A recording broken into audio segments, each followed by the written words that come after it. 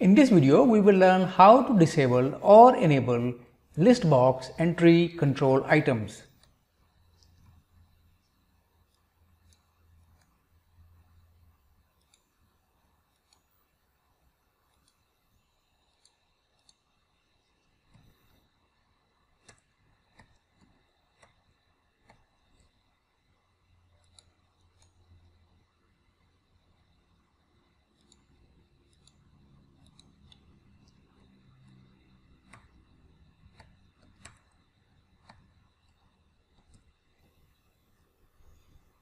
Right click a list box or tree control item and select disable item from the shortcut menu to dis disable an item.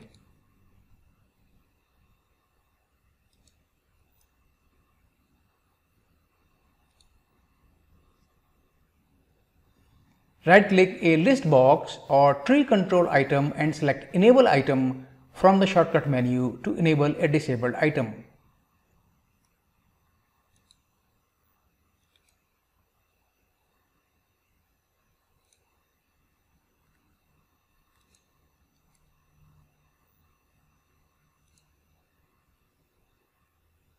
We can also use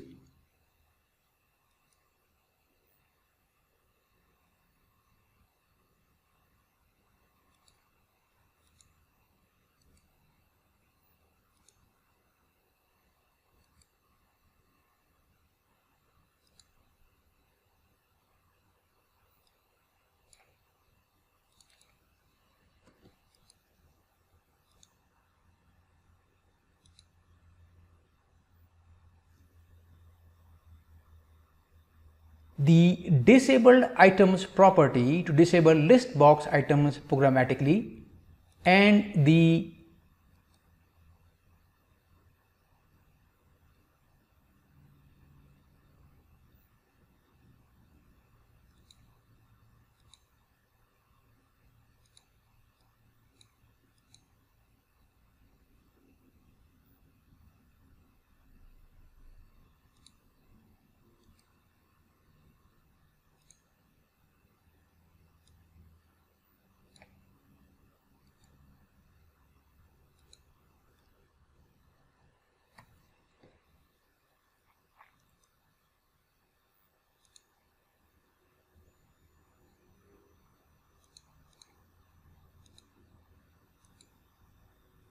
active item